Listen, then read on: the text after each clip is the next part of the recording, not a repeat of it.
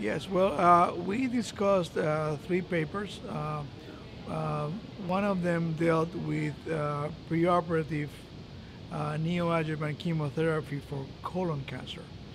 And that study had some very interesting results. It showed that there, in some locally advanced stage two cancers, there might be some benefit in actually giving chemotherapy before doing an operation.